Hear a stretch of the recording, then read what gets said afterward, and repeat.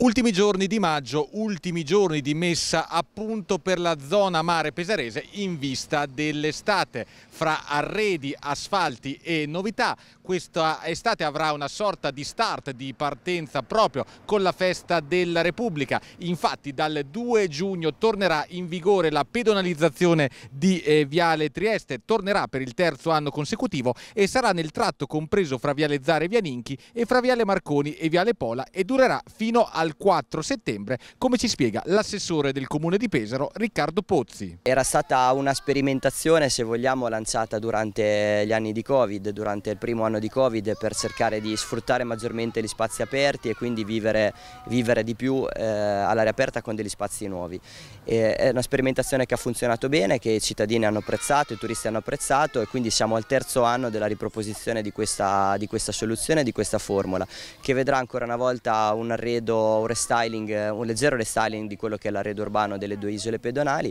Abbiamo deciso di puntare molto sul green, sul verde, per dare la possibilità al, a chi passeggia, al turista piuttosto che al pesarese, di dare la sensazione di immergersi in un corridoio verde. Quindi giocheremo molto su, sul tema del, dell'ambiente, ma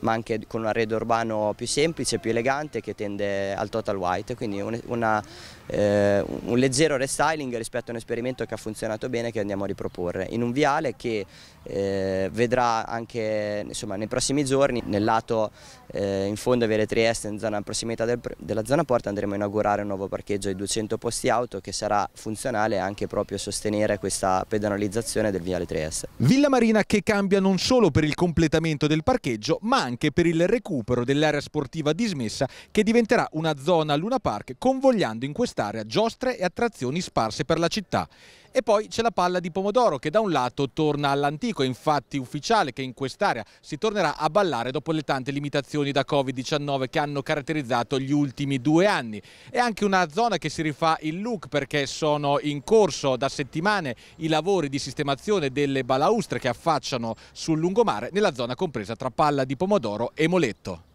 Siamo in linea con, con, il cronoprogramma di un intervento importante di 150.000 euro finanziato interamente da un contributo ministeriale, un contributo ministeriale che è giunto eh, nella, nel, Pesaro, nel bilancio del Comune di Pesaro a marzo e questo ci ha consentito di avviare subito l'iter per l'aggiudicazione dei lavori, l'individuazione della ditta e partire con un intervento che di fatto rappresenta un cantiere itinerante, quindi 40 balaustre alla volta, 20 balaustre alla volta all'incirca vengono portate nello stabilimento, trattate con questi polimeri che di fatto vanno a creare una pellicola trasparente che li proteggerà dalla, dalla ruggine e che quindi prevederà poi la, la conclusione definitiva dell'intervento intorno alla seconda metà di giugno, eh, anche se nella, insomma, siamo, arriveremo nelle prossime settimane ad aver concluso un 80% del, dell'intervento e quindi aver anche dato un, un impatto visivo diverso, a un lavoro importante. Infine, Piazzale d'Annunzio, un'area da ravvivare sulla quale scommettono sia il comune che gli albergatori,